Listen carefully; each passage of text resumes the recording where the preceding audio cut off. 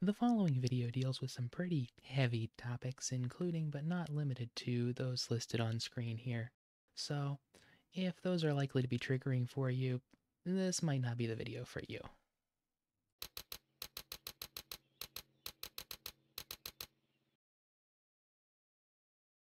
In December of 2022, popular Twitch streamer and YouTuber Moist Critical challenged his audience and the internet in general to speedrun a game called Amok Runner.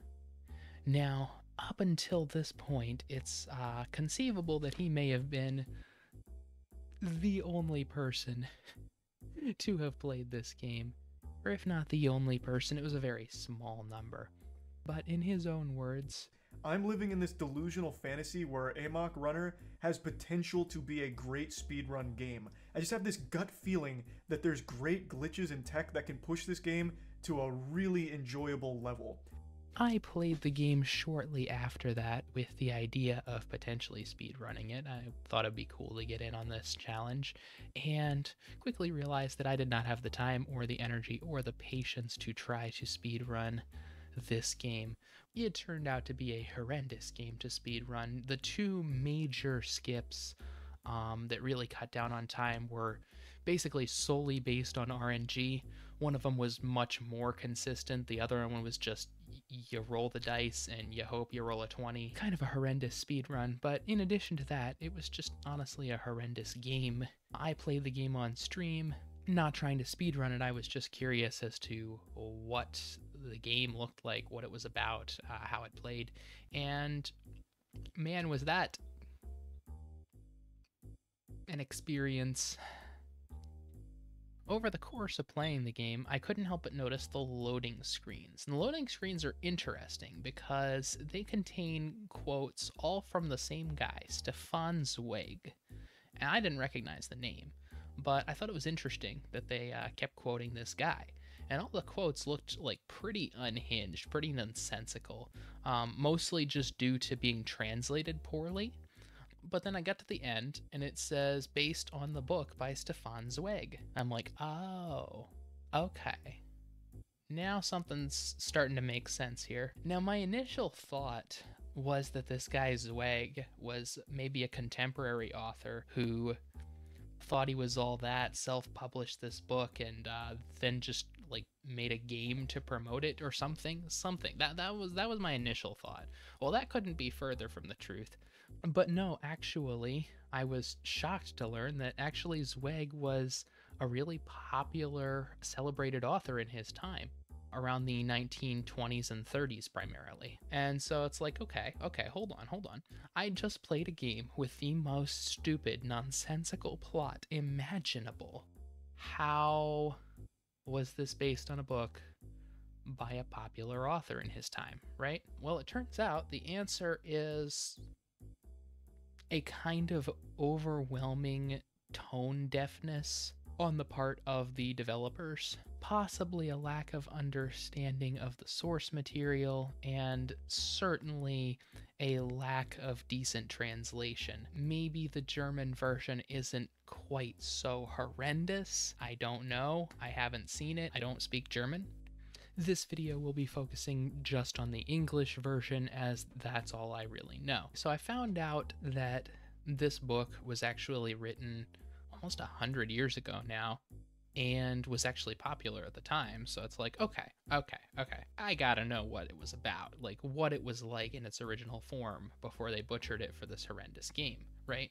So I read this book, um, which incidentally, I specifically read the translation by Anthea Bell. So if you're reading in English, I highly recommend her translation. It's very good. So I was actually very pleasantly surprised to find that the original book, Amok by Stefan Zweig, is really well written. It's a pretty interesting story. The prose is beautifully crafted, which partly thanks to Anthea Bell for that in the English version. And the characters' motivations and choices while in many cases not being any more rational than in the game, make a lot more sense for the characters as they're presented. So I wanted to take a look at the book today and go over it, see why it works, and compare it to why the video game doesn't work, and maybe try and speculate on how the video game could have been done a little bit better so as to. I don't think you could make a good game out of this, but perhaps you could make a mediocre game out of this.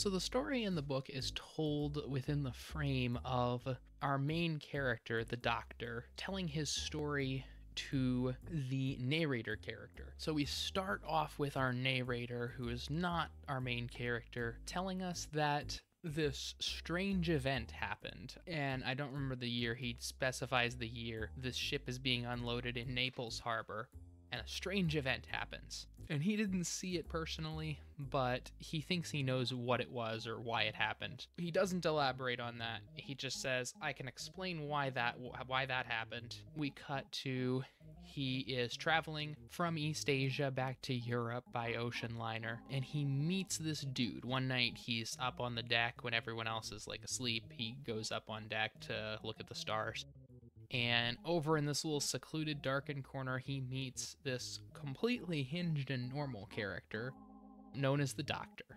And the Doctor uh, feels the need to tell his story to someone because he hasn't spoken to anyone in so long and he just he feels that he needs to get his story out and like not get it out he actually doesn't want the narrator to tell anyone he just needs to get some stuff off his chest right so he begins telling us this story and it becomes apparent very quickly that this guy is how do I put this politely a violently racist misogynistic piece of crap. So he gives us a brief overview of his backstory. He was a really successful doctor in Germany until his career and reputation were totally destroyed, and rightly so because he fell in love with a patient and, on her behalf, stole a bunch of money from the hospital he worked at. And he only avoided jail time because he had a relative high up somewhere who was able to uh, get him out of trouble, but he, he pretty much had to get out of the country at that point. Later on, he finds out that the Dutch government is looking for doctors to send to their colonies in East Asia, and I believe it's Malaysia specifically. And they're offering a huge sum of money up front for this and then pension after, and it's uh, for a term of 10 years. So he signs on for that and he goes to the jungles, and we uh, get to listen to a whole bunch of racist rant from him about how horrible things are over there in the jungle. Not just because it's the jungle and it's humid and crap, but he goes into a lot about how he doesn't like being around people that don't look like him, and it's great. It's such a good look for this guy. This is not a chill dude. This is not a reasonable or well adjusted dude and we kind of we clearly get that impression right off the bat. It's kind of the point of the story. So, right off the bat, we have a pretty good expectation of what kind of character this is and what kind of attitudes and behavior we can reasonably expect from him, which is that he's a lousy, crappy character and he does lousy, crappy things. Which I also notice the author seems to go out of his way to kind of distance himself and us, the readers, from this character. There's a couple of scenes from the narrator's perspective before he meets the doctor where he's describing the cabin that he got on the ship and he's describing like the stars at night when he's up there stargazing before he meets the doctor. And it's this really just beautiful kind of almost like visceral, like very descriptive, very graphic prose where you can you can't just imagine, you can feel and you can smell and you can taste like the grease in the in the air on his cabin and like the sea breeze as he's out there stargazing. Like it's immersive prose right?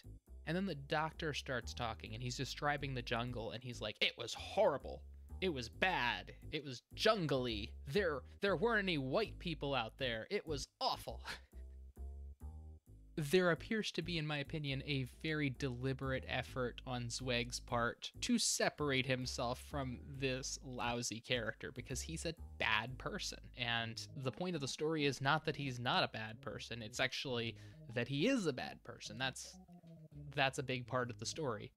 So, with that Pulitzer Prize winning description of the jungle and how non white it is, we begin the actual body of our narrative, wherein the doctor is visited in his secluded clinic in the jungle by a European woman, and he is shocked to meet someone of European descent out here. You know, this far in the wilderness. And she comes into his office, or his clinic, and they go up to his office. And the interaction here, I also want to draw attention, is very well crafted. There's this really well written, like nuanced, kind of very tense interaction between the two where she comes in and is just talking his ear off about nothing. She's like, "Oh, oh, it's so nice out here. I love all the books you have and stuff, and it's uh, blah blah blah blah blah." And she just babbles on and on and on, and he's just sitting here trying to figure out what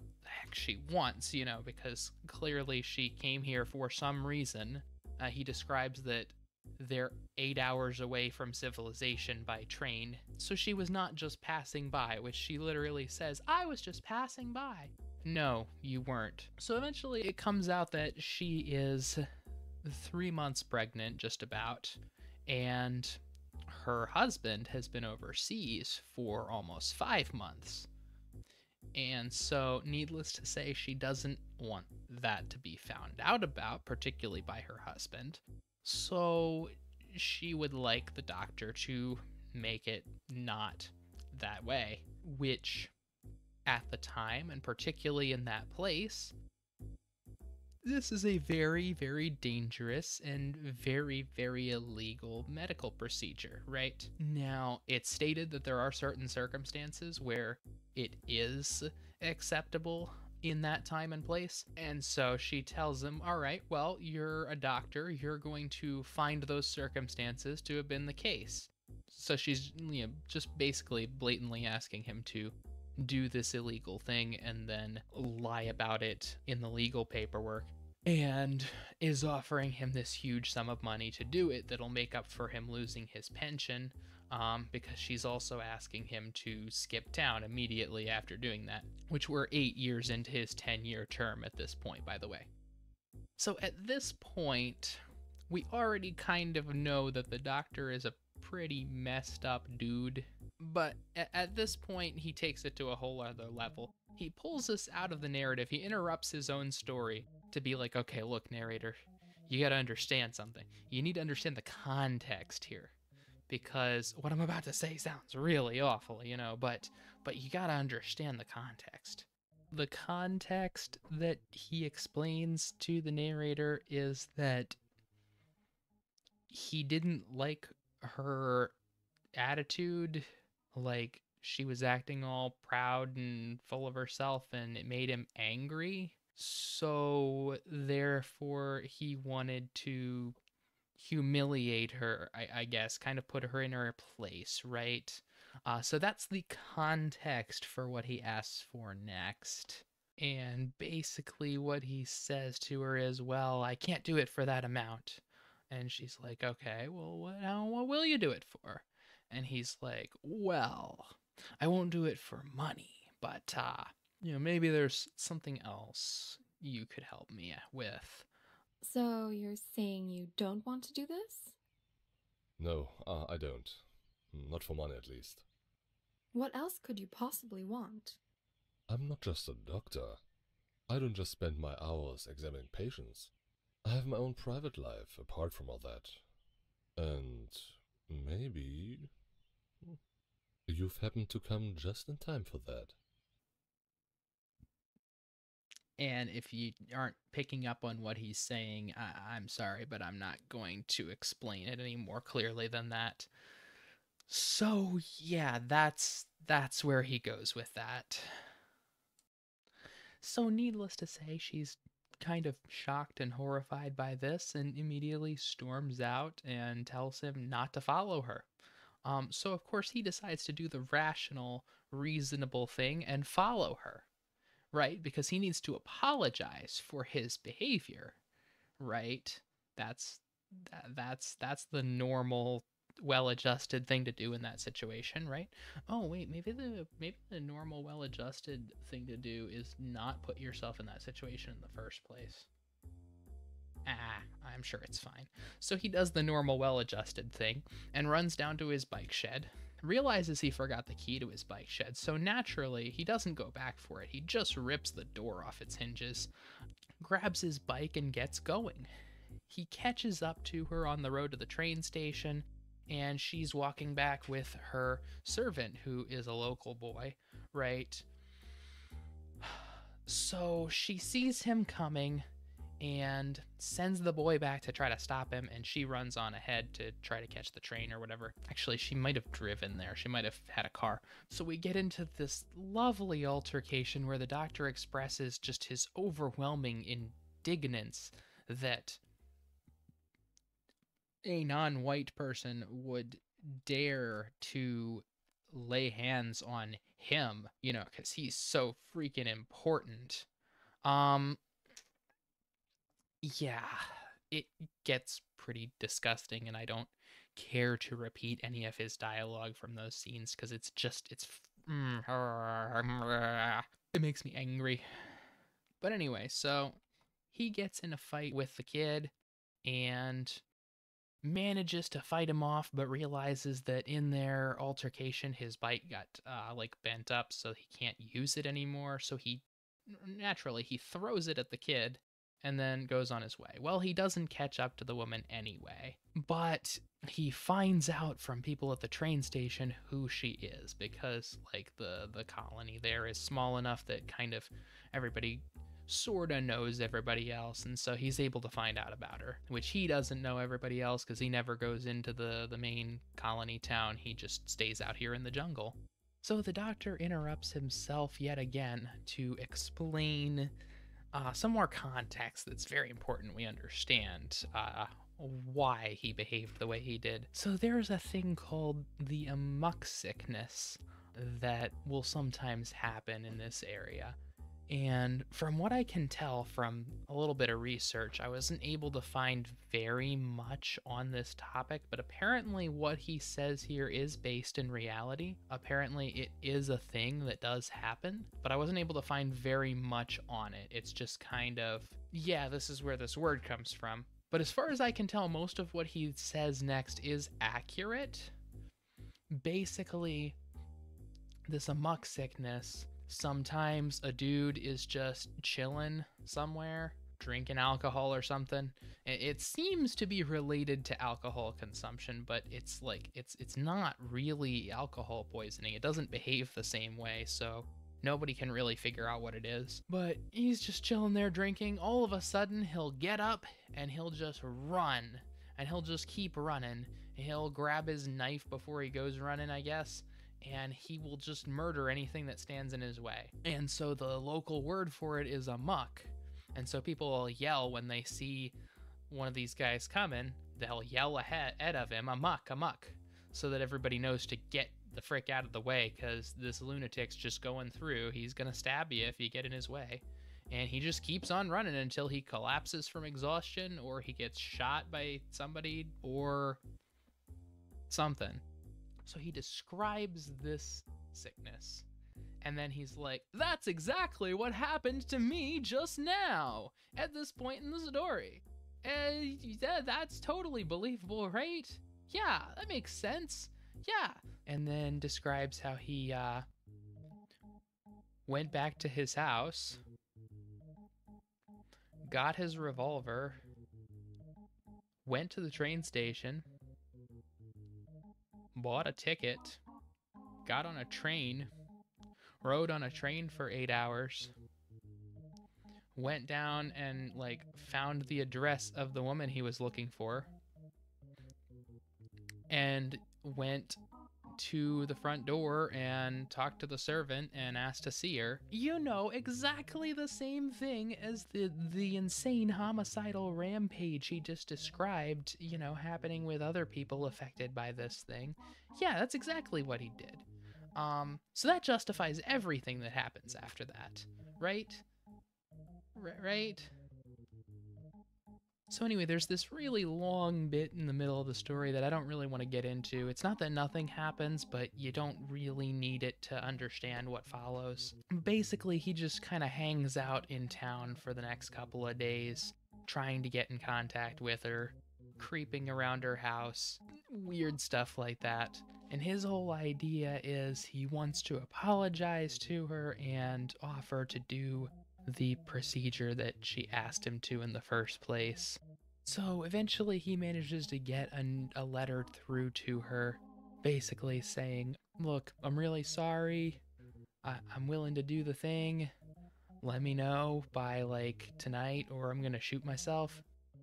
And she just barely lets him know by tonight, but uh, what she writes back is just simply, No, no, you are not forgiven and you're not going to be. But stick around for the moment because I might need you later.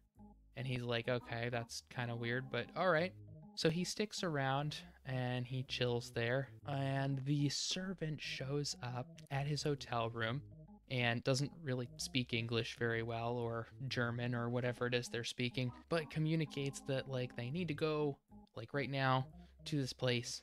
So he leads the doctor to this really rundown, poor district of town where they find out this woman has gone to try to get the procedure done by somebody who is not qualified to be doing it at all. And so she's been grievously injured and she's bleeding out now. So the doctor's like, okay, look, we need to get you to the hospital like immediately, right? And the woman's like, no, no, no, no, I would rather die than uh, be disgraced with people finding out about this. And he's like, sounds reasonable. Okay. So instead, they take her to her house, and we have this excruciating scene where the doctor and the servant just sit there in the bedroom for six hours while she slowly bleeds to death. It is actually a really well written scene, but man, okay. So, next morning, the city doctor comes in, the guy who's uh, basically our doctor's superior, and they're kind of rivals because during that long, slow bit in the middle of the story, he also applied to be transferred into the city and have somebody else go out into the jungle where he was stationed. So this guy thinks that our doctor is, you know, gunning for his job right? But he comes in to write up the death certificate and all that, and the doctor's like, "No. No. You're not you're not going to examine the body." And the guy's like, "Um, yes I am. What what do you mean?" And the guy's like, "No. Because I promised her that I would keep the cause of death a secret. So you're going to make something up. He's like, no, no, I'm not. That would be falsifying a legal document. I've never done that and I'm not going to.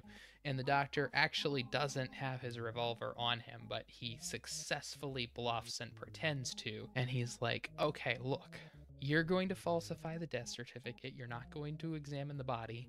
In return, not only will I not shoot you, but I will skip town at the very earliest opportunity. The guy's like, okay, fine. We'll go with that. Because the whole time up to that point, he thinks that the doctor is trying to, like, you know, take his job or something.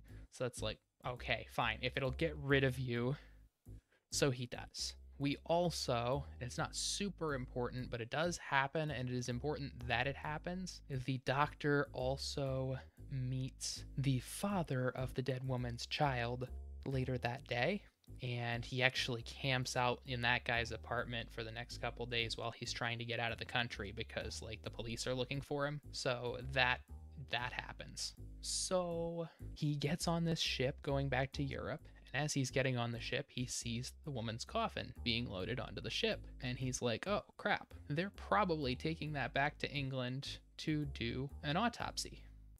That would be bad because I promised her I would keep that a secret. So, got to do something about that.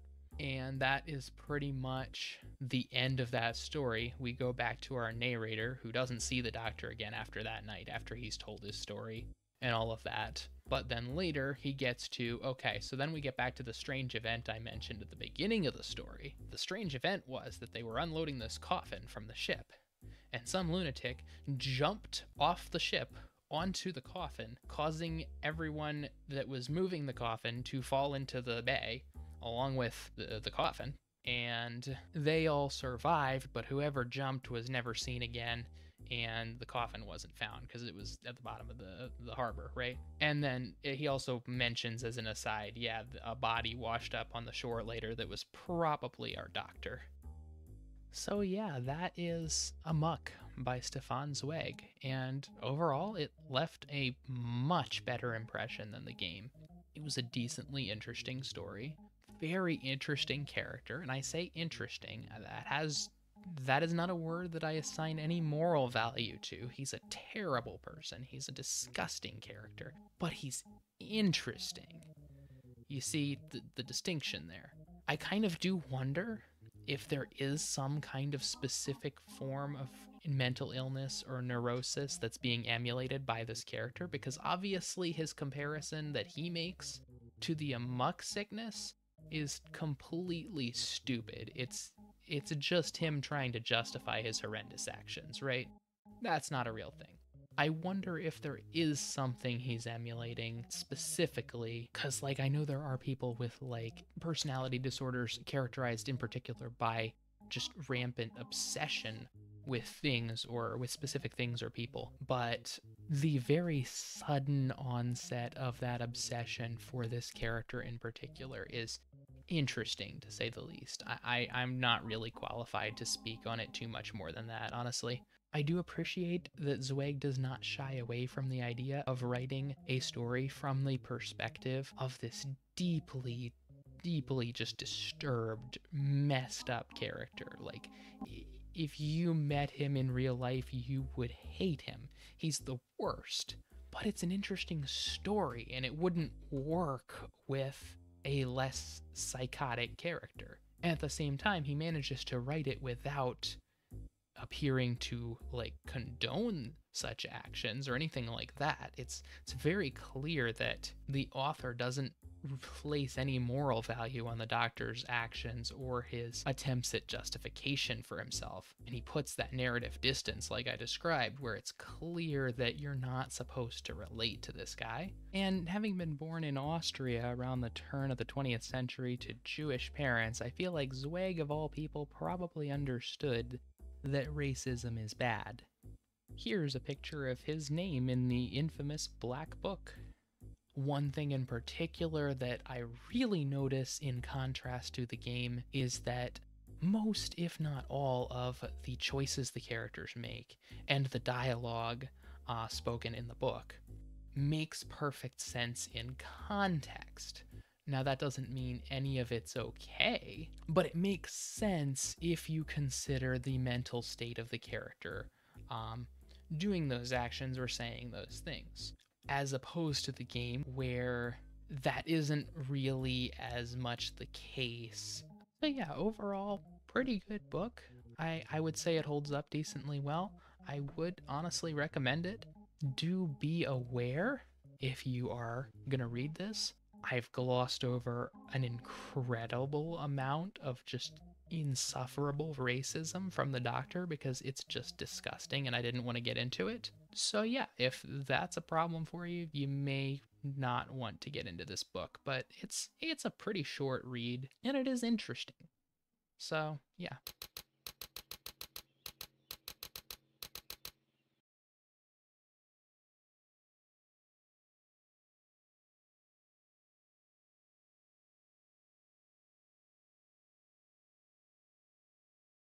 So, the game is a little different from that. I'm sure you may have noticed I've harped a lot on the tone of the book and how it's made clear that you're not really supposed to relate to the main character. Well, the game doesn't know how to do that. It doesn't seem to be aware that you should need to do that. if you haven't read the book, and even if you have read the book, you play as the doctor. So you're inside his head the whole time. You don't really get access to too much of his internal thoughts and like feelings about his situation. And even when you do, there is no acting, there is no emotion. The the voice actor is frankly terrible. There's no effort put into it whatsoever. You see this face? This guy right here, that's all you get for the whole game. He doesn't emote at all. There's there's no expression whatsoever. So maybe I should have. But I didn't figure out, having not read the book, that this guy was supposed to be a bad character. It's obvious from his actions that he's supposed to be a bad character, but that's my problem is there's this dissonance between the tone of the game, the attitude the game takes towards what you're doing and what you're supposed to do, and the actual actions of the guy you're playing as. So I kind of have a huge problem with that, but we'll get into some of the more of the detail of that in a little bit. Starting off, the game gives us basically no context as to where we are, who we are, what's going on, none of that. Here's what we get. Okay. Off the Indian Ocean, March 25th, 1935. Do you mean off the coast of India? Every day- feels Oh. exactly the same. I'm having the worst nightmares till morning. Okay. Another sleepless day begins. Hmm. Uh, okay. Very cool. Yeah, riveting stuff there, I know. So, anyway, you're told to go explore the ship. You walk over here, you happen to sit on this bench, and you've just met the book's protagonist. And now your player character, the doctor, is going to tell his story. So, of course, we uh, teleport directly to his clinic with no context as to who he is, where he came from, how he got there. Nah, nah. It's just here he is at his clinic. Now, I have so many problems with this scene. Just to start, the clinic and the entire game for that matter is all in the same city. There's none of this being off in the jungle in the wilderness. No, the doctor's clinic is right across the river from the hospital. And despite that, the woman's dialogue, which she's named in the game for some reason, her name's Linda, Linda's dialogue is lifted directly from the book. So she makes reference to him living out in the wilderness like a hermit, but he's right here in the middle of town across the river from the hospital what's up with that? They also make up some dialogue from the doctor trying to, I guess, kind of gloss over his rampant racism and just kind of explain that it's surprising that she showed up at his clinic. But they choose to do this just simply with the line, with no context. Linda comes into the clinic, and to himself, he's like, A lady in this town? and this is supposed to communicate I'm not sure that it's unusual for an English woman to be here, but that doesn't make sense because she's in the same town. She lives in this town. Um this is like the Dutch colony, so it makes sense that there would be Europeans here.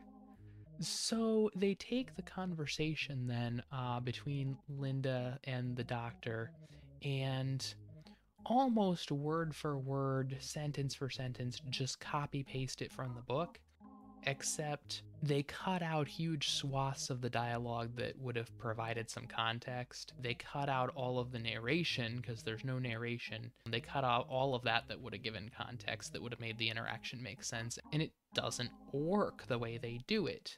Partially because there's no voice acting, they, they can't express emotion for whatever reason. So this really stilted, awkward interaction is happening, right? And then just all of a sudden, out of nowhere, he comes out with this request, or, you know, whatever you want to call it, of her. And she reasonably storms out, but then the game is like, follow her. And it's like from the lack of emotion in the voice acting and the quest log telling me what to do, it really feels like the game thinks the doctor's actions are reasonable. Because it's like, I, as the player, have no reason to want to follow her in this situation. I'm just sitting here in shock at what my character just, like, just said. And the game's like, oh yeah, no, just follow her. I'm like, "Wh- what?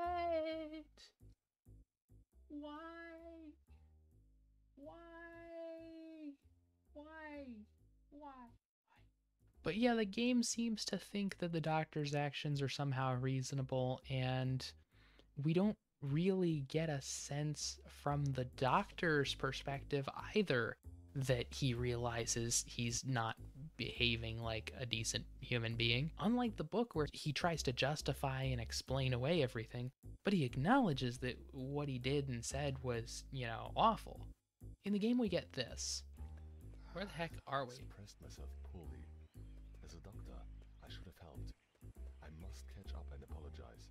You expressed yourself poorly is a polite way of putting it, to say the least. We then go to the train station to hunt her down, right? Well, you might be wondering, why is she going to the train station when she's already in the town where she lives? Uh, I, I don't I don't know. I, I don't know. I don't know where she goes.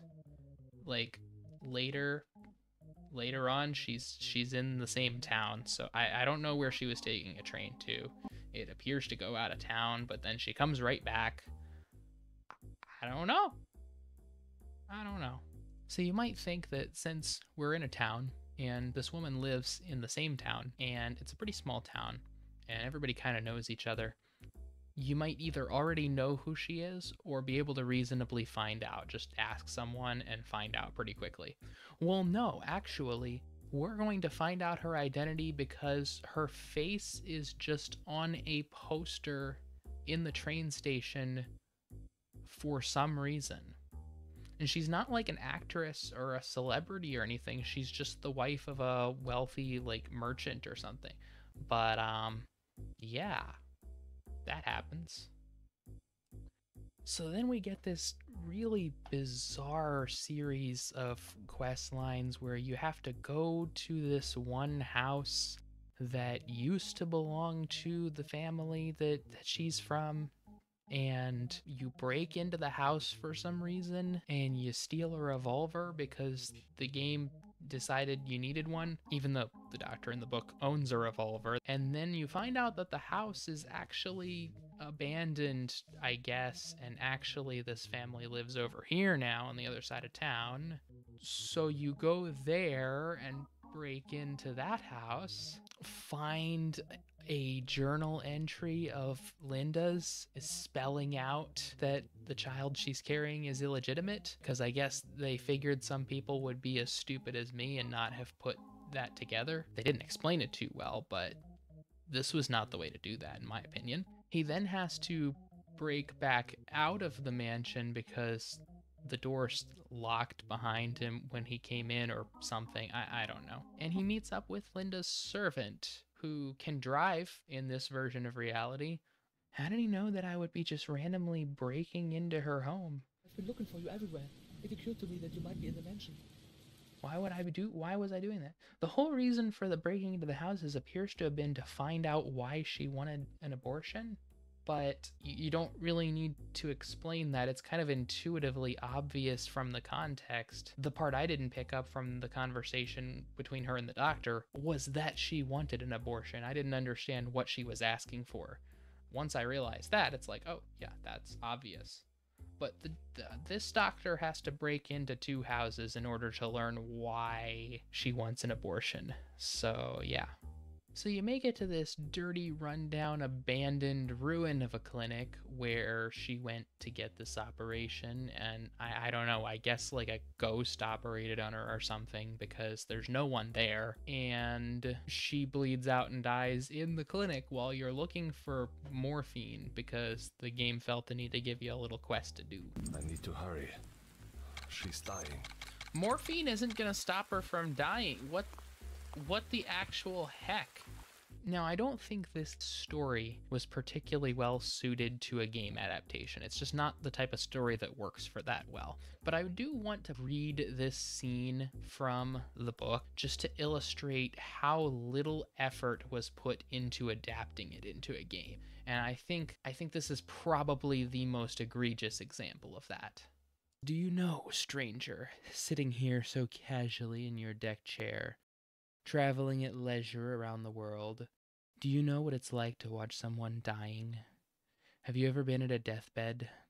Have you ever seen the body contort, blue nails scrabbling at the empty air while breath rattles in the dying throat? Every limb fights back, every finger is braced against the terror of it, and the eye stares into horror for which there are no words. Have you ever experienced that, idle tourist that you are, you who call it a duty to help? As a doctor, I've often seen it, seen it as as a clinical case, a fact. I have studied it, so to speak, but I experienced it only once, there with her. I died with her that night, that dreadful night, when I sat there racking my brains to think of something, some way to staunch the blood that kept on flowing, soothe the fever consuming her before my eyes, ward off death as it came closer and closer. And I couldn't keep it from her bed.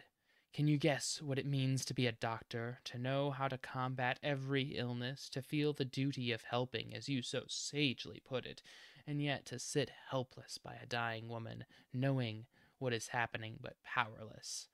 Just knowing the one terrible truth that there is nothing you can do. Although you would open every vein in your own body for her, watching a beloved body bleed miserably to death in agonizing pain, feeling a pulse that flutters and grows faint, ebbing away under your fingers. To be a doctor, yet know of nothing, nothing, nothing you can do, just sitting there stammering out some kind of prayer, like a little old lady in church, shaking your fist in the face of a merciful God who you know doesn't exist. Can you understand that? Can you understand it? There's just one thing I don't understand myself. How? How a man can manage not to die too at such moments, but wake from sleep the next morning, clean his teeth, put on a tie, go on living, when he's experienced what I felt as her breath failed, as the first human being for whom I was really wrestling, fighting, whom I wanted to keep alive with all the force of my being, as she slipped away from me to somewhere else, faster, faster, minute after minute, and my feverish brain could do nothing to keep that one woman alive. Which, sure, the doctor's a little melodramatic, and my reading of it is eh. But in the game, we get this incredible sequence.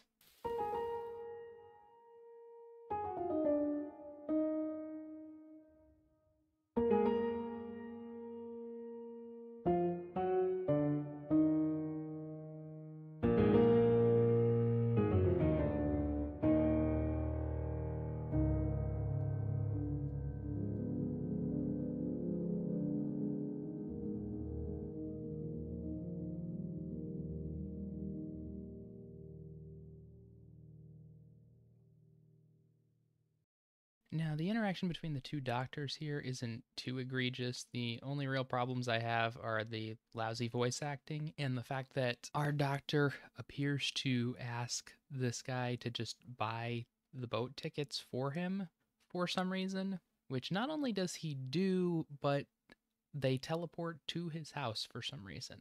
So that's weird. Otherwise, it's it's it's vibe. It's whatever. We then get this really odd bit of dialogue that was actually almost directly taken from the book. Behind Okay. the house I've been working on for seven years. Everything I, I have. I, I cannot stay here any longer. In this house, in this town, in this world, where everything reminds me of her. What? You do her for like five minutes. Wh- What the heck is this? But once again, it's like it was just about the right amount of unhinged for the character we know from the book. So then the police chase you for some reason as you're leaving your house because I guess the doctor, the other doctor, called the police on you for murdering Linda or something, which you didn't actually do. But the police are chasing you now, and oh boy, are they willing to cause so much property damage and loss of human life in order to apprehend this one doctor that might have killed someone or committed malpractice or something. Now, you might be thinking, as I did, why would they not intercept him as he's trying to get on the ship? Good question. So you successfully evade the police, and then suddenly, out of nowhere, you have to fight this guy. Oh, frick. I, I completely forgot to mention there are zombies in this game. There are zombies in this game, by the way. They don't do anything, they have no effect on the plot. They show up sometimes when the game decides that it's time for you to do the shooty shoot thing. So this guy shows up because it's time for you to do the shooty shoot thing. And then you shoot him, and that's it. And then you go to the ship, and the police don't stop you from getting on the ship. So here you are at the end of the flashback. So at that point, it's been about five hours since Linda died, and they've got her in a coffin and they're loading her onto the ship to send her to England for an autopsy for some reason. It's not implied that her husband is involved, which eh, he's the one who sent it to England for an autopsy in the book. I'm not sure who made this call, but it's on the ship, and the doctor somehow didn't know about it. But our narrator character, whom we've been telling this story to, did see a coffin get loaded onto the ship. So he's like, hey, that's probably her. And you're like, oh, frick, that is her. I, I can tell. I'd better go dump that coffin in the ocean. Well, somebody's conveniently loaded it on, onto this weird wooden shelf thing on the edge of the, the ship, so it's really super easy, barely an inconvenience to do. Oh, and also on your way over there, there's this weird hallucination dream thing you have, and then the doctor to himself, like, has this bit of dialogue. Wait a minute, isn't like his entire motivation at this point that no one can find out about, like, why she died? He took her from us. Now she belongs to that man again. She doesn't belong to us anymore. To us. To to both of us. Okay, can you shut up with your incoherent rambling? I was in the middle of a thought. Okay. Which references a character who doesn't exist in the game, or doesn't appear in the game anyway, who appeared in the book. Remember, I said that was going to be significant later? We also, it's not super important, but it does happen, and it is important that it happens. The doctor also meets the father of the dead woman's child. So, that having happened, and the coffin's in the ocean now, and the doctor also jumps into the ocean because of reasons, game's over. That's the game.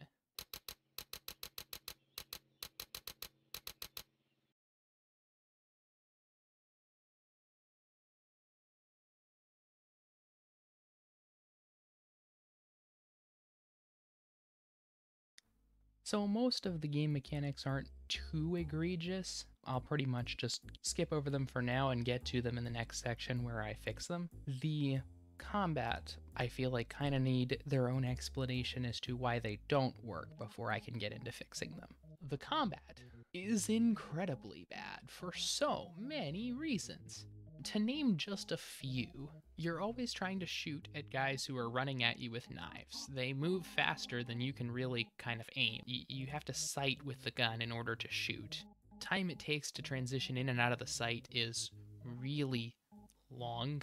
Your movement speed, and particularly your turn speed when you're sighting, is really slow. The bad guys can strafe around you faster than you can turn while sighting. And by the time you sight, after adjusting to turn towards them, they've strafed around you again. Sighting also zooms in significantly, which is fine at range, but these enemies don't stay at range for any meaningful amount of time. So, unless you headshot them every time and manage to kill all of them as quickly as possible, you're going to get swarmed by people who are just rotating around your field of view infinitely faster than you can keep up. Also, this isn't really a criticism of the combat, but there's this weird thing where you can like go out of your way at certain points in the game to acquire these boxes of ammo and you appear as far as i can tell you have infinite ammo regardless of whether you do this so i'm not really sure why those exist so yeah just in terms of the game's mechanics it seems pretty clear to me that little to no effort was put into any aspect of the game or the gameplay or anything and it really shows and it's really just depressing to experience as for the story in the game, it's really bad. The characters' choices make no sense. Or they're just not explained at all because a lot of the choices are the same and they made sense in the book, but they're not explained in the book. The story is really poorly structured, it's poorly told. There are zombies for no freaking reason. And a lot of aspects of the story are just haphazardly copy pasted from the book with no thought to all of the changes of the context they made. You can't just have your player character sexually harass someone without the player meaning for that to happen or understanding why it would even, and just give no explanation as to why the game is just like, yup, this is normal, this is what we're doing and like no explanation as to why the player is just supposed to go along with this. Why? That's not okay. And another thing, the zombies are garbage. There's no point to them. There's no freaking point to them. They have no role in the story. They, they, there's no reason for them to be there. They do nothing except like have there be combat now and then. And it, so even if the story were good and made sense, the presentation, the dialogue, the voice acting, it's awful. The translation is lazy at best.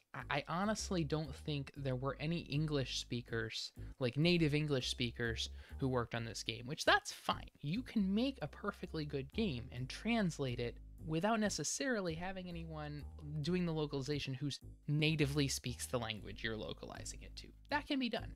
It's not done here. Not well, anyway. There's a staggering amount of lines of dialogue that are just copied verbatim from the book, and they don't have any regard for the fact that they've completely changed the context.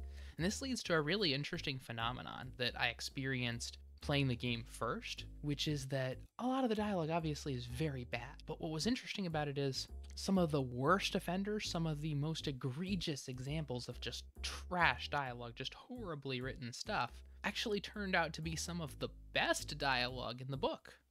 And it was exactly the same word for word, the same sentences being spoken as what was in the book. But it's the changed context or Worse yet, it's just the completely flat delivery that makes it the worst dialogue in the game. They weren't working with bad source material. They just were incompetent. They didn't know how to to use it. I just can't get over like how bad of a character the doctor is in the game.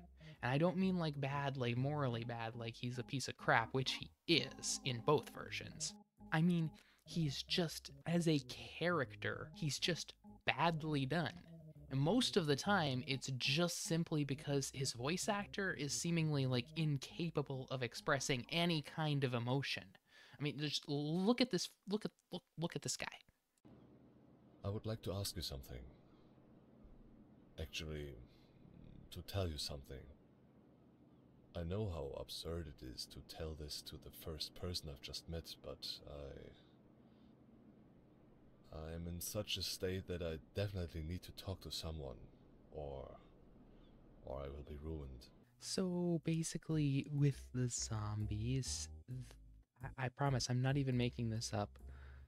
They took this idea of the amok sickness, which, as I've described, is uh, appears to be a real historical phenomenon, and they were just like, oh, that sounds kind of neat, but what if instead we were just like, oh yeah, it's a communicable disease that makes you a zombie. It's a zombie virus. What if we did it that way? And so they did it that way.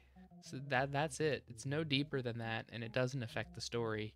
Also they take away the whole thing of the doctor running amok, which is like his entire claim to justifying what he's doing. They're just like, "No. No. No, instead, we're going to have it be a zombie virus, and we're going to avoid having to try to explain why the doctor's behaving this way by, I guess, just kind of gaslighting our players and pretending that this is normal. And we'll see how that goes.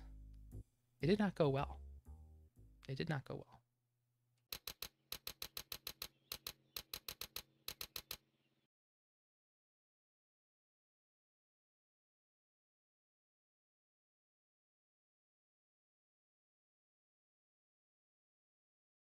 So first, I feel like I kind of have to ask, okay, we're trying to fix this game. Can we do that? Is it possible to fix this game? And I think the answer is maybe. Because looking at this game, a lot of the aspects of what make it so insufferable is just the fact that little to no effort appears to have been put in on the part of the devs, the voice actors, the writers, the translation, all of that. So a lot of this section is just going to be um do better, do your jobs better. And that's kind of a shallow criticism, but at the same time, that's a huge, huge part of what makes this game so bad. The other problem that's a bit deeper and a bit harder to fix is the story. What do we do with the story? Because it's not a story that you look at and you can see a clear path to adapting this to an interactive medium. It's just not. It doesn't make sense to try to do this. I mean, you look at, okay, so in the original story, there's very little in the way of like combat or like puzzles or anything that could challenge the player reasonably.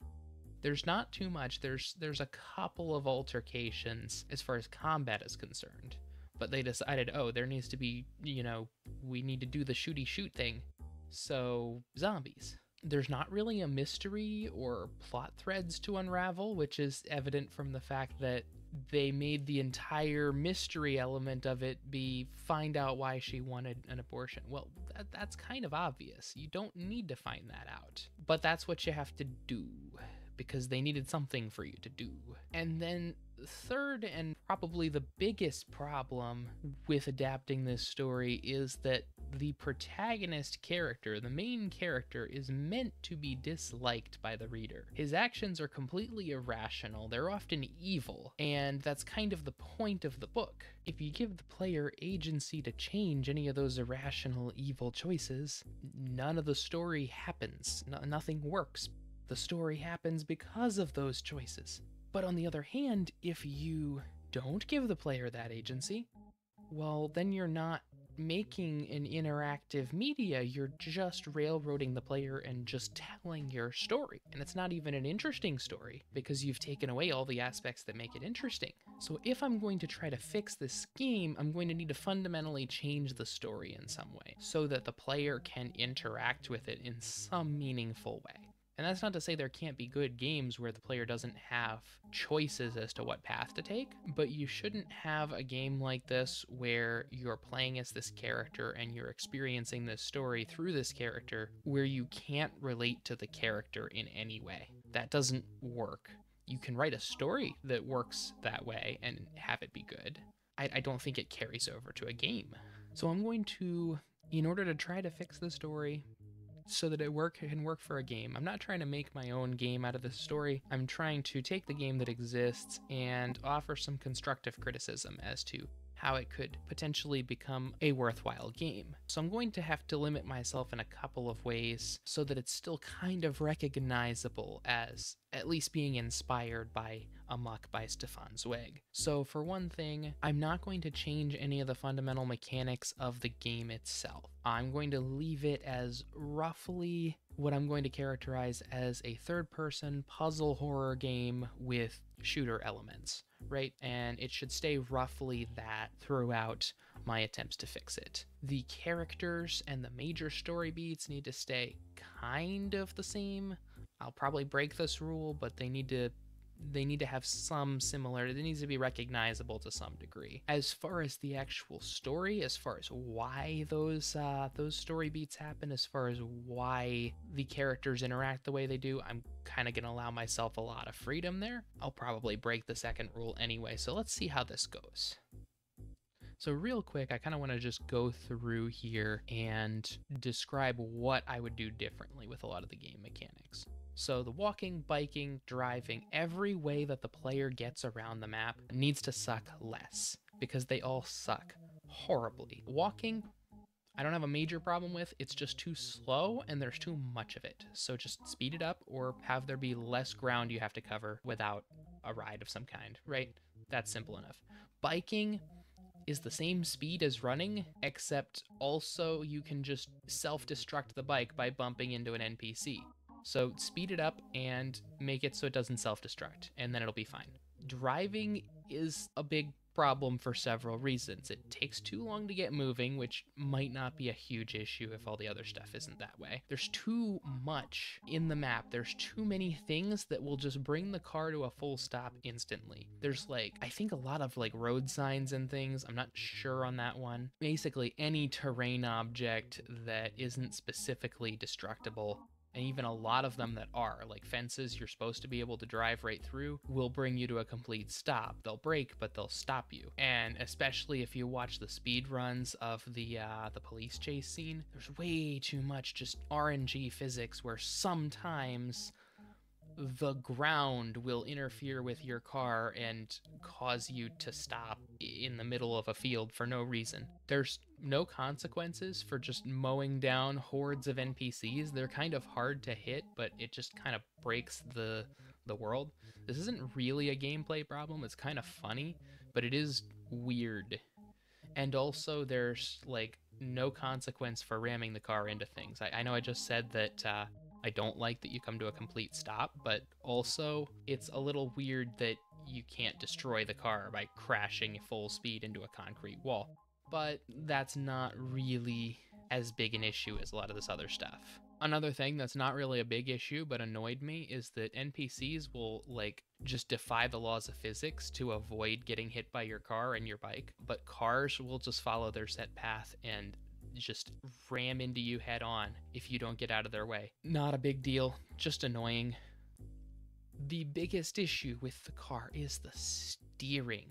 The steering I'm going to talk at length about a little bit because it's so bad and it is really hard to describe if you have not played the game. You can't just look at it and see what's going on, you have to experience it. But I'll do my best to describe it. Basically, when you press A or D, if you're using mouse and keyboard, if you press A or D to turn, the wheel doesn't immediately turn and you don't immediately start turning. The wheel begins to turn and continues to turn the longer you hold down that button. And based on how far the wheels have turned, the car will begin to make the turn you're trying to do. But the wheels are very slow to turn when you press those buttons. And when you release the button, you don't stop turning. The wheels begin to turn back to that center position. So you continue to turn for a little while after you have released the button. So the result is this extremely sluggish, just awkward, really needlessly difficult mechanic where basically what I figured out in order to steer reasonably like you would expect a normal game to function is you hold down, say I want to turn right, I'll hold down D for a little bit till the wheels are about halfway turned, and then I will tap D repeatedly to keep the wheels in roughly that position for the duration of the turn, and then stop tapping when I want to straighten out. And it takes a little bit of finagling to get the uh, the timing right, but that worked for me. But that's stupid. I shouldn't have to figure that out. It should just work like it works in every other game that has had a car in it for the last 40 years. Why would you literally reinvent the wheel? Why would you do that? There's no reason for it, and it's bad, and no one likes it. It's bad. don't do it. So the combat I'm going to focus on a little bit as well because I'm assuming for some reason that we want to keep the combat even though this game doesn't seem conducive to it. So first of all, the enemies have this stupid step dodge ability that I, I, hopefully have some footage of that you're looking at right now. The thing is, they have iframes during this step dodge, but the iframes start before the dodge animation. They appear to start actually the same frame that you pull the trigger, so you can have them in your sights, pull the trigger, and they gain iframes at the moment that you pulled the trigger. Not to be a sore loser or anything, but did that attack just miss?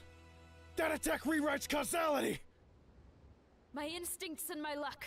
Those skills together saved me. Well, that's dumb. My attack that will always pierce the heart was disrupted by a metaphysical critical roll on a d20.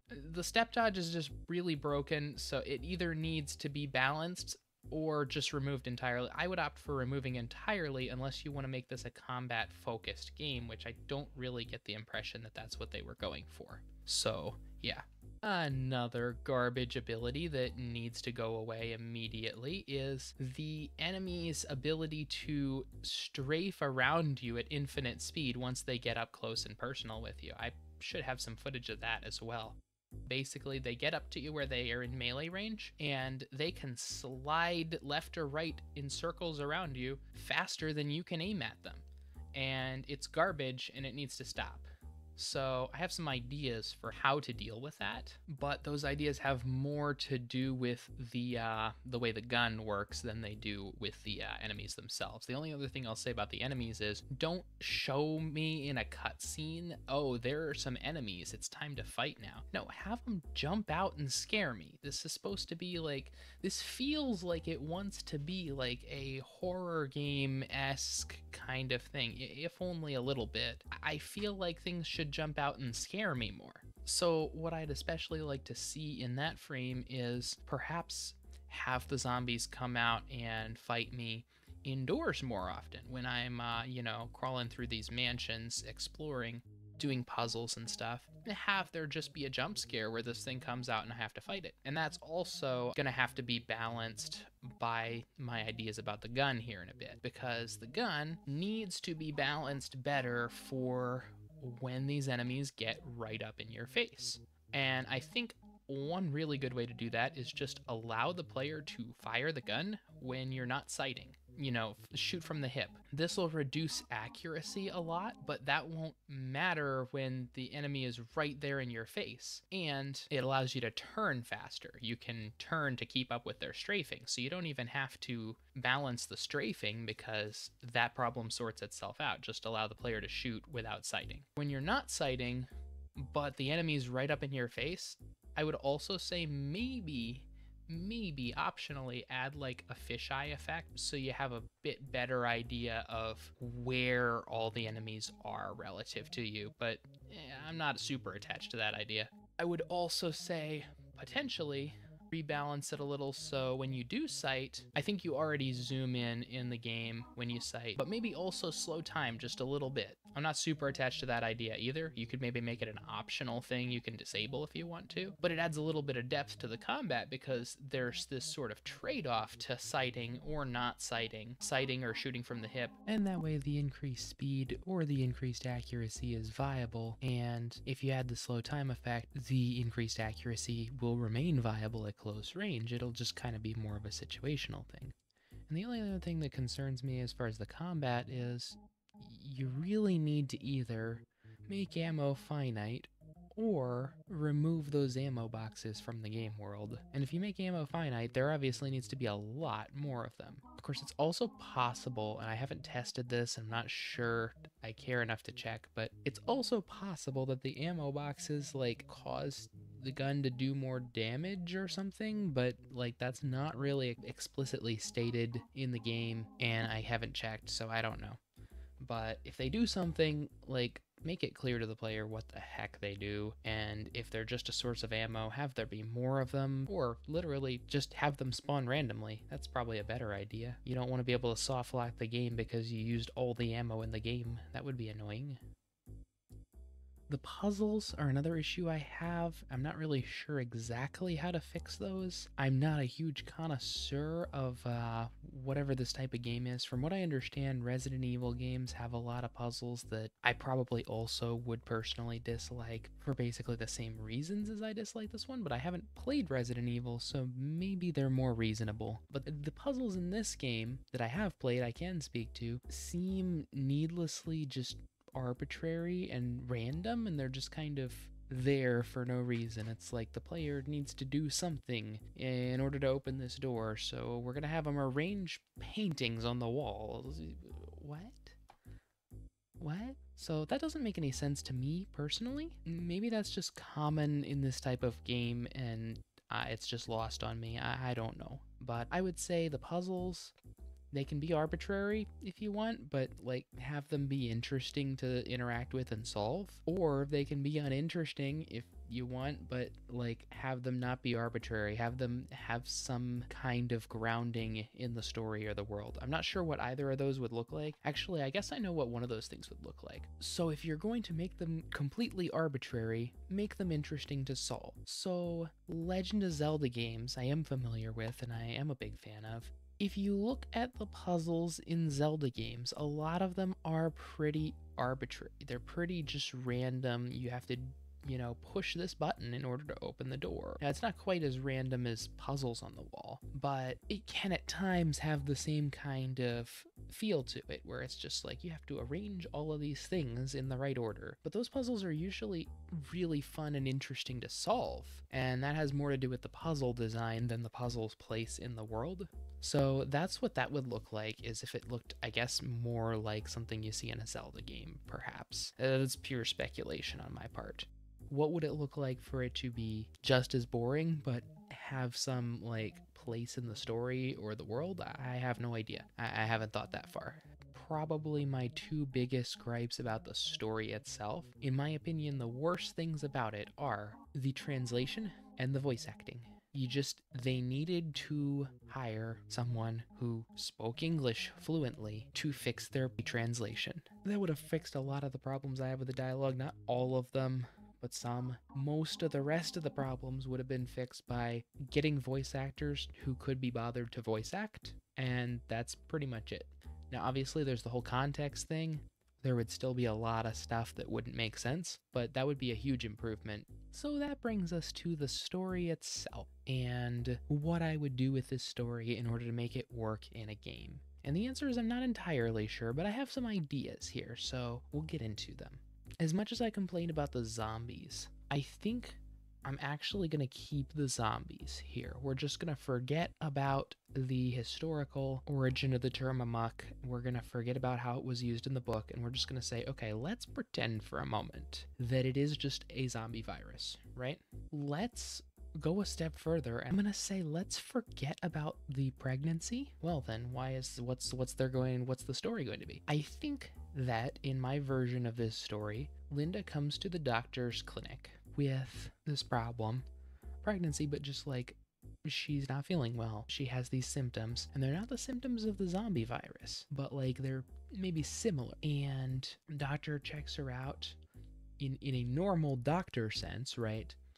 And finds no, actually you do have the zombie virus, but it looks like she's a healthy carrier of it. So she has the disease, and she can pass it on to other people. They can catch it from her, but she's not going to turn into a zombie, right? Maybe she's patient zero. Maybe she just happens to be immune for some reason. Whatever. Well, now we have a valid and sensible reason for her to run off because she doesn't want to be, you know, quarantined somewhere and studied. And we have a valid reason for the doctor to chase her because he doesn't want her infecting the whole town with this virus. So now he's going to go about trying to hunt her down. And I don't know the specifics of why he needs to go to like multiple different locations or whatever, but let's say he does now, as he goes to these locations, he's going to be constantly trying to hunt her down. And in the meantime, you also want to expand these locations that the player is exploring, make them more elaborate, make them a little bit larger, make there be more interesting puzzles, more real information to uncover. You're always looking for the next lead as to where she would have run next, perhaps. And while you're doing that, there's going to be these you know, zombies coming after you because more and more people in the town keep getting infected, right? And so at that point, you have an actual kind of plot thread and gameplay loop going on there. And then what'll happen is after hunting her down, going to the mansion, she's not there anymore, and then you find out she went to Maybe she went to the city hospital thinking that maybe they would give a second opinion or something. But when you get there, the virus is spread out of control and it's infected everyone and now you have to like fight your way out of this hospital that's full of infected patients. And maybe if you still wanted to have the police chase for some reason maybe you get out of the hospital and maybe the police show up at that exact moment as you get out of the hospital. And they've been following you all night unbeknownst to you right? And they just are they don't maybe they don't know about the virus or maybe they don't realize um, that that's what was going on. They just see that you've been leaving this trail of dead bodies behind you all night and they've been trying to catch up to you. So they finally do at that moment. They find you coming out of the hospital full of dead people and they're like, oh crap. Oh crap, he's on a rampage. We gotta stop this guy. So then, you know, they're not gonna listen to reason. You have to hop in your car and make a break for it. And I- I'm not sure why they don't stop you from getting on the boat, but let's say they don't, or let's say you manage to sneak past them or something. Maybe there's like a stealth segment of the the game there. That would be kind of interesting. And then at that point, we're gonna flash back to on the boat where like I guess our story started, but instead of learning that a coffin was put on the boat or something, the doctor starts to have symptoms of the virus. And he's like, "Oh no. Oh no. I'm sick now and I'm to kill everyone on this ship if I stay here. So then it might be perfectly reasonable that he would jump overboard in order to save everybody else. And on top of that, then you have an actually heroic character to some some extent rather than what we got in this game. Yeah, I think that might be that might work. There there are probably a couple plot holes here and there, but I think that makes a more interesting and more compelling story for just like a cheap horror game at least than whatever they did in Amok Runner. So that's my attempt at fixing it. I'm not sure how it well it works, but uh, hope you guys enjoyed.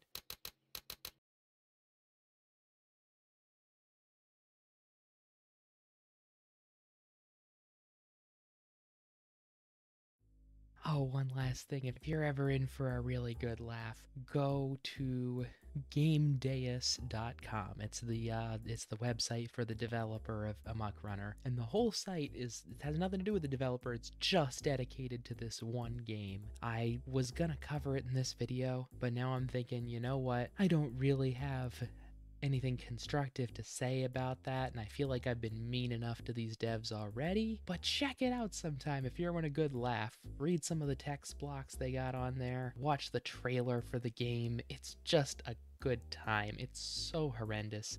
Anyway, I think that's gonna do it for this video. If you, by some miracle, are still watching this video at this point, thank you so much. You are awesome. I hope you had as much fun watching this as I did making it. And hey, if this interested you enough to stick around this long, maybe consider subscribing.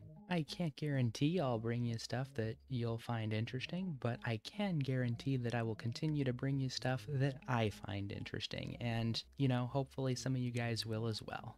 I'd like to thank you all very much for your time, good people of Earth. I am Zulltar of Xanduin, and I wish you all a very pleasant day. Bye bye.